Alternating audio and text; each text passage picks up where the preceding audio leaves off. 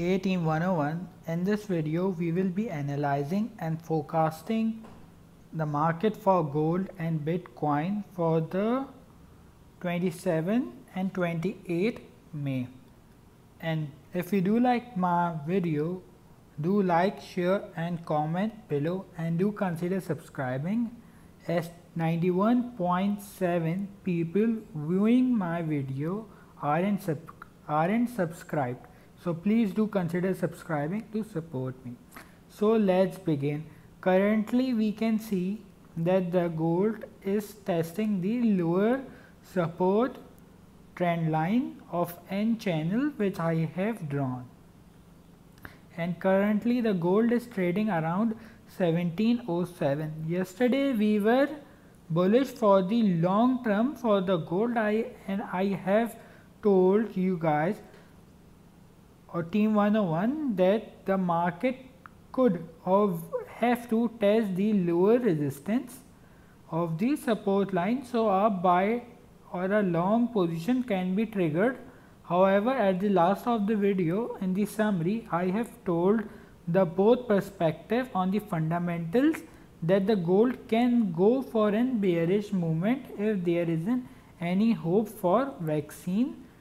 As the hope for vaccine kick in as, the New York session kicks in.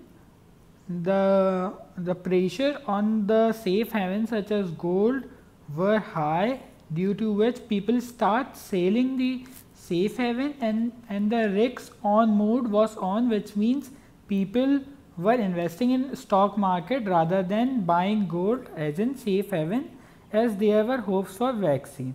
So we have seen an bearish move downwards from around after testing the the above resistance.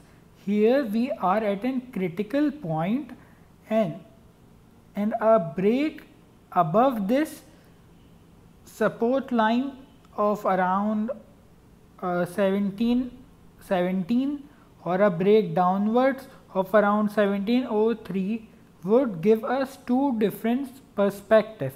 If we saw a break above it, so we can go for a long position with the stop loss placed just below the support line. However, if the market closed or the daily candle closed uh, below the support line, thus the support which is currently acting as in support zone would turn in resistance zone and we can take an short position on an pullback. Moreover, currently I am neutral on gold as there are both newses which can act as a catalyst for the gold to be bearish or bullish as as the fundamentals which I will tell you the US and China tension is rising on the same side on the other side the gold fall due to the spring holidays and the vaccine hope bring out risk on mood. So we have both newses in the market which can drive the price of gold upwards or downwards. Moreover coming on a technical perspective here we can draw a resistance line like this. Let's press perfect. Moreover we can see a regular hidden divergence which means that the market should enter an bearish territory and the market has entered an, an bearish territory. Let me show you where the hidden bearish divergence has been occurred. As the market is making higher high from here till here. And the indicator is making a lower low from here till here. However the indicator should also make follow the market price and should also make an higher high. Here we have seen an regular bearish divergence. Thus a break through this trend line which I have drawn or which has act as in resistance as the market have bounces off after touching the trend line from here from here and from here. A test towards the trend line should be uh, important uh, should play an important role. And what I expect for the gold to do today is to close between this range which it has recently played out which is from 1715 till 17 1703 or 1702.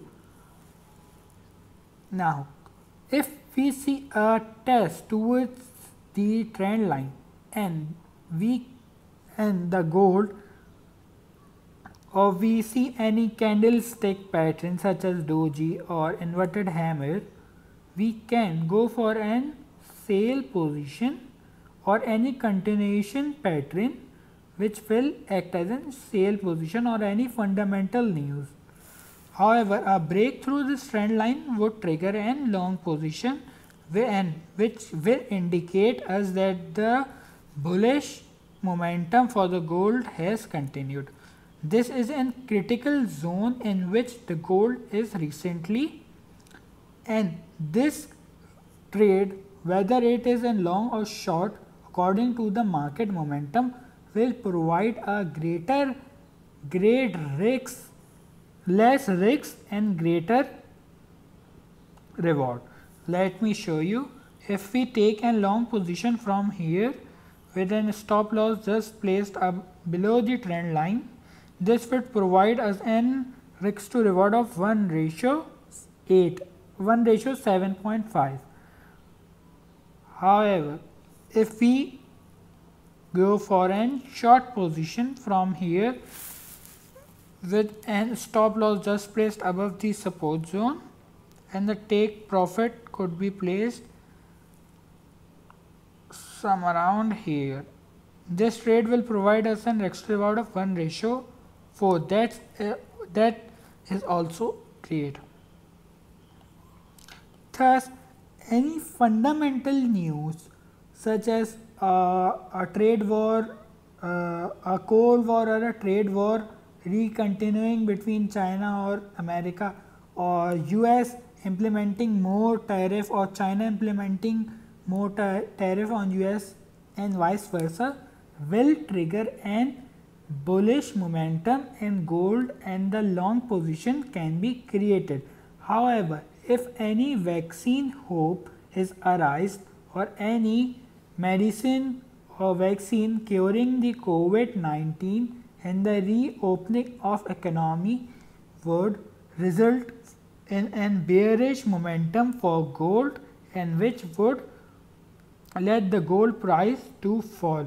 Now coming on in technical perspective, what we should do now, I am out of all of my trades and I am waiting for the gold market to break the support or downwards or upwards and will take position according to it. If the gold market, if the gold breaks downward, I would take an sale position or a short position on an pullback some around here.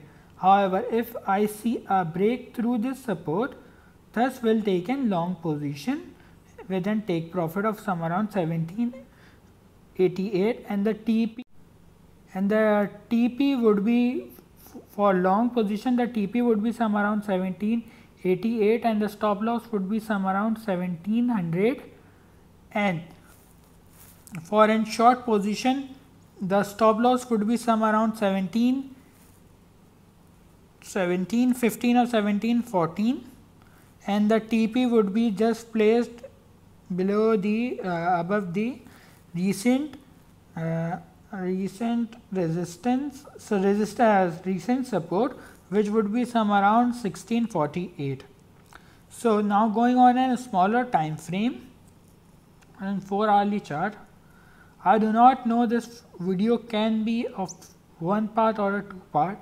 So do watch all the parts till the end. As I give summary and the end of the video and reviewing all of my technical and fundamental perspective which would help you taking your position. So, on an 4 hourly chart here let me remove it okay